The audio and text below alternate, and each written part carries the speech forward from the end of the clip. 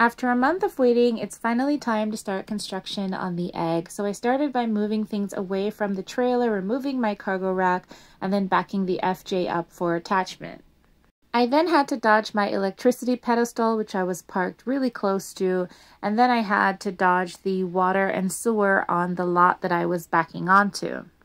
I am in a campground slash tiny home development, so I do not own the lot behind me. However, nobody currently owns it, so I'm able to park there for free while I wait for the rock and gravel delivery, which will help me create a more stable base for my deck, and then the egg will sit on top of that. Once I had the trailer positioned and leveled, I detached the FJ Cruiser, moved the rest of my stuff, parked Samson next to Jazzy, and called it a day. We will pick up when the gravel gets here.